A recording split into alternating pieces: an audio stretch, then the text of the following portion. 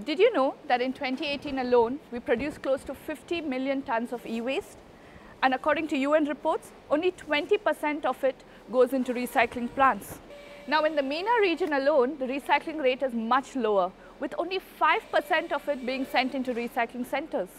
In this episode of InFocus, let's learn what we can do to improve these statistics.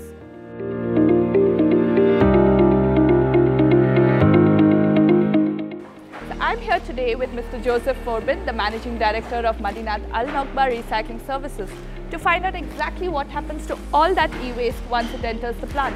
So shall we enter?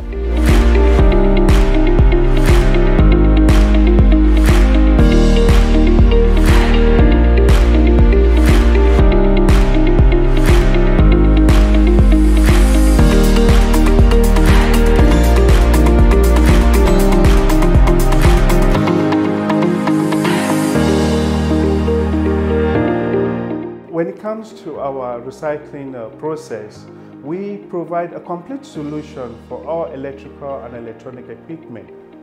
Anything with a cord or power or battery, we do handle it. So we make sure we provide a complete solution of uh, waste electrical and electronic equipment. We are working with uh, Philip Lighting and Philip Electronic, which we handle all their uh, the light equipment in Middle East and also their uh, medical electronic stuff and electrical equipment, everything that the, the end of life uh, product that they have. So we are the, uh, the company that handles all their end of life product in Middle East. So once we receive the items here in our facility, it goes to the weigh bridge and uh, the weight is being documented.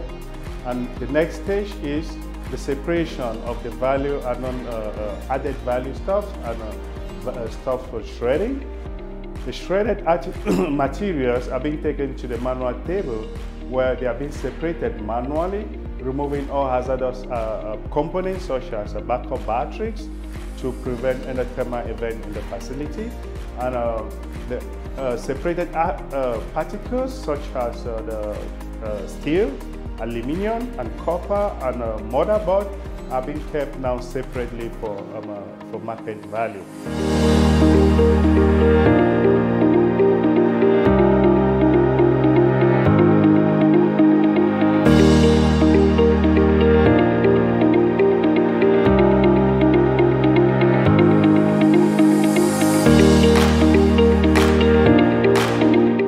and items that goes into the machine for shredding is being separated into ferrous and non-ferrous metal using our eddy current um, uh, uh, system and it goes now to the next stage for granulation where we now granulate uh, most of the um, cables and e-waste into further um, components for resale purpose.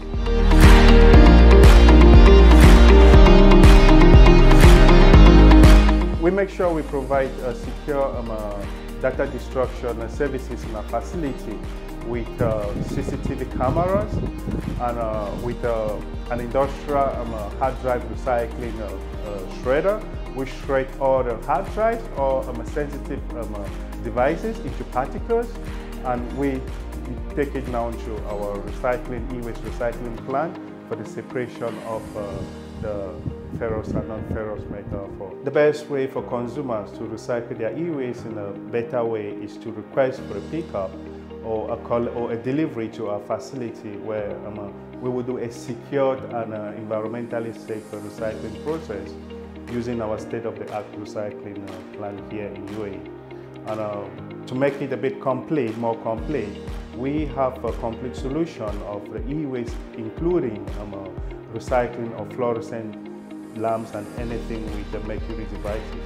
So all the e-waste with the mercury um, content can be easily uh, um, recycled in a safe manner in our facility.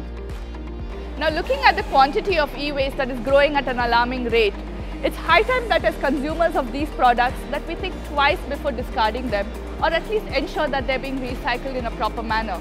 Maybe this can be your step towards growing green. So if you like this video, hit a like button or even better, subscribe to our channel to get more such engaging videos.